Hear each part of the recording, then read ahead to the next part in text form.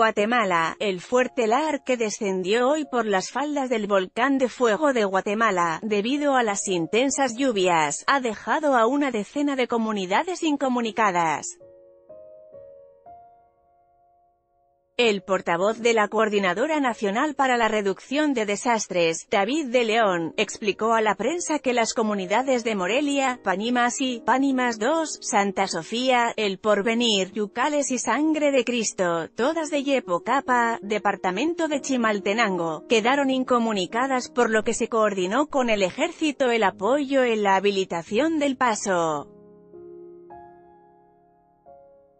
En la misma situación están, en Siquinalá, departamento de Escuintla, La Rochela, Ceilán y San Andrés Osuna, a donde la institución enviará maquinaria para realizar trabajos de habilitación del paso, foto las dimensiones de este material volcánico, pastoso y con bloques.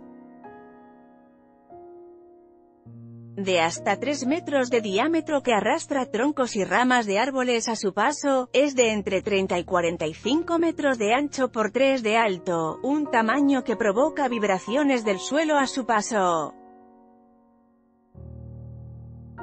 Debido a la última erupción del volcán de fuego el 3 de junio, que ha causado al menos 110 muertos, casi 200 desaparecidos y más de 1,7 millones de personas afectados, los lahares son calientes y desprenden olor a azufre y fuertes vapores por las altas temperaturas.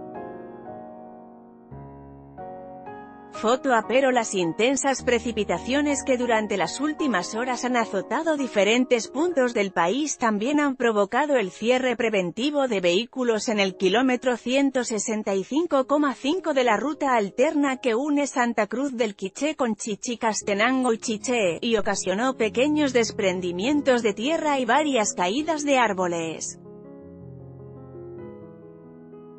En esta nota, Guatemala la volcán la volcán de fuego.